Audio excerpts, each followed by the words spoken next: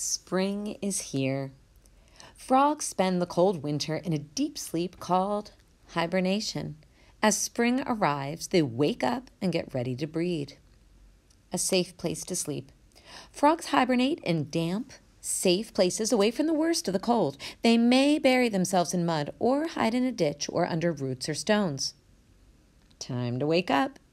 The warm spring sunshine wakes the frogs up. They hop to the nearest pond to get together with other frogs. Not all frogs croak.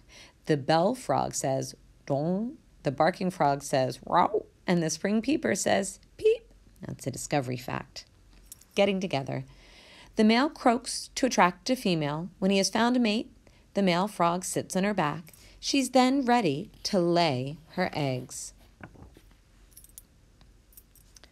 Frog eggs. The female frog lays a lot of small jelly like eggs in shallow water. The eggs clump together in a sticky mass called frog spawn. Discovery fact one type of Australian frog swallows her eggs and they hatch later in her belly. Single cell. A frog starts life as a tiny black dot called a cell surrounded by jelly. The jelly provides food for the growing frog and protects the frog from the outside world. Embryo. The black dot grows bigger and changes shape. It is now called an embryo. It has a head and tail. Ready to hatch. After about 10 days, the embryo starts to eat its way through the jelly. Then it hatches. I've arrived. The newly hatched frog is called a tadpole. It does not look at all like an adult frog. Sticking together. The tadpole sticks to its egg using suckers on its head. It stays like this for about a week, feeding off the remains of the food stored inside the egg. Discovery fact The female Asian tree frog makes a foam nest for her tadpoles by frothing up a special liquid with her back legs. Fins and gills. The tadpoles have feathery parts called gills. On the sides of their head, they use these to breathe underwater.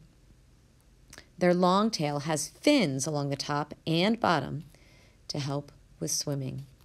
See their tail, their fin, their head, and their gills. Growing fast.